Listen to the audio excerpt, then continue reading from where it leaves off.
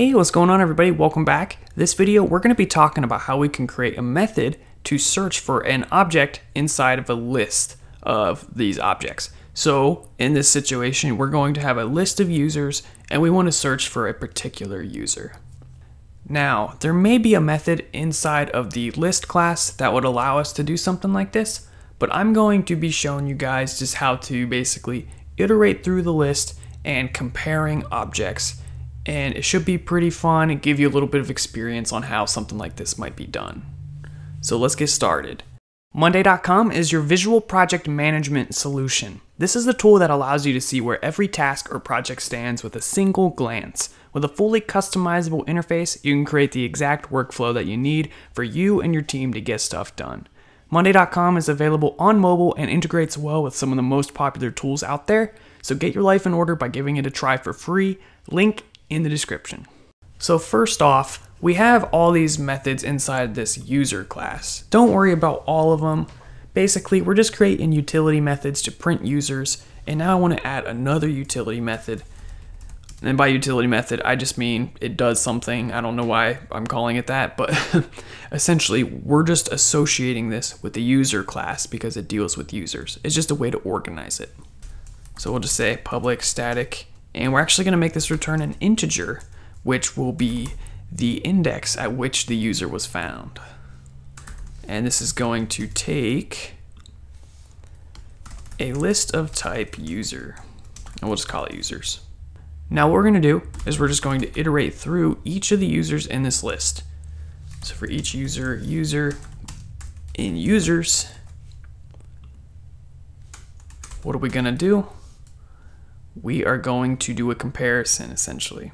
So not only will we take in the list as an argument, we're also going to take in, let's just, uh, what do we want to compare by? Let's just compare by full name. So we'll just take a string and we'll call it full name. And again, this is a static method, so it has nothing to do with an individual object of type user. So we can't just go grab full name directly. That's not possible because this is not static. This is static. You can't really mix the two. So we just create a string to store that information. So when we call this, we'll just pass in the string, do, do some comparisons down here, and if it's found, we'll return it. You can decide how to compare. In this situation, I'm just gonna assume if the full name matches, they're the same entity, but that's up to you. You might wanna check for something a little bit more unique, such as an email, DNA sequence or whatever it might be. So what we'll just do is say if user.fullname is equal to full name, so this is the argument passed in, and this is the property of the user in the list right here. If they're equal, we're just going to return user, oh, crap. How do we get the index? We actually can't easily return the index here with this for each loop, so I'm going to turn this into a for loop. It's really simple. And we can pretty much do the same thing, so I'm just gonna cut this and paste it here. Get rid of the for each.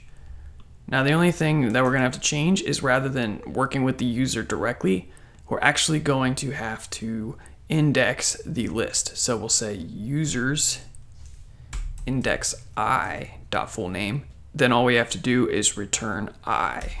And we're getting an issue. Not all code paths return a value. So to fix that outside of the for loop, we can just say return negative one. So if we go through all the users and none of them match, we'll just return basically a flag to say wasn't found. We could use negative 300, it's up to you. I just choose negative one. It's very common for something like this. All right, let's invoke this, see how it works. So let's go into our program. We'll create a couple other users. All right, so we created three users. Now let's create that list.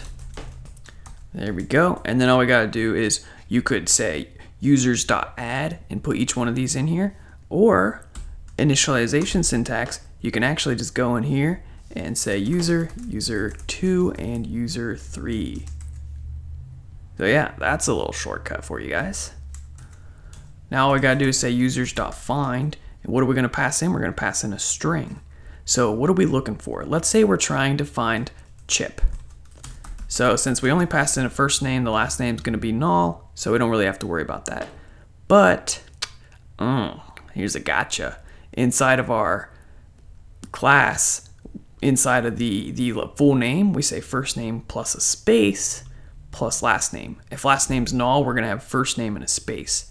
So in order to match, hmm, you have to put that space in there. So that's a little weakness in my code, but it's, it's fine.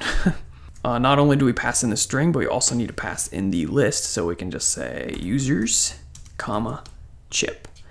No overload for method. oh, Okay, so we're getting an error as you can see here, and that's because we're calling it on this user's list. So the list class has a method called find, which you can search for an element. So this is probably the method you would use to search within the list. But if we want to use our custom method we just created, which was defined inside that user class, we actually need to use a capital U. So we're calling a static method. Get rid of that S. We're calling the class static method find. Hmm. There we go. And this is going to return that integer, so we can just console log it.